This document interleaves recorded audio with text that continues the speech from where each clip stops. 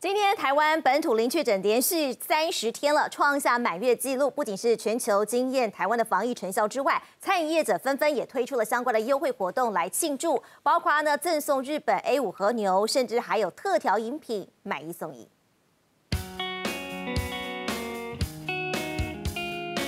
在澳洲无籽青葡萄和茶冻上加进现打冰沙，再铺满欧洲进口鲜奶油制成的气死奶盖，让饕客边喝边拍照，爱不释手。清爽的，而且它重点是它里面有果肉，我觉得很特别。企业跟政府好像感觉有合作，可以就是一起对抗疫情啊。民众笑开怀，原来除了喝到完美饮品，还因为十二号就是台湾本土零确诊满三十天的日子，输油头寄出连续六天买一送一的优惠，普天同庆。买一送一是赔钱，可是因为三十天零确诊是值得庆祝的，所以赔点小钱大家开心是 OK 的。希望可以提升到百分之二十左右。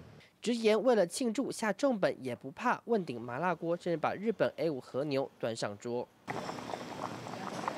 只要身份证号码有五二零，其中两个数字就送价值六百元的和牛，而且一人中奖，全桌共享，以一桌十人计算，至少就价值六千元。大家就是为台湾尽一份心力，我觉得蛮好的。排除说后面会再加强这个期间，那让更多的民众可以享用到这一块就是比较珍贵的肉。我们目前的话，业绩是增长三到四成左右。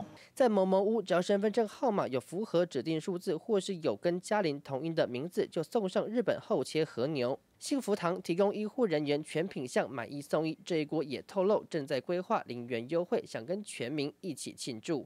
台湾防疫全球盛赞，再加上本土零确诊创下满月纪录，除了全民庆祝，餐饮业者更各出奇招，想杀出一条血路，逆转低迷的市场。记者荣信、曹生台北采访报道。望着你，望着你。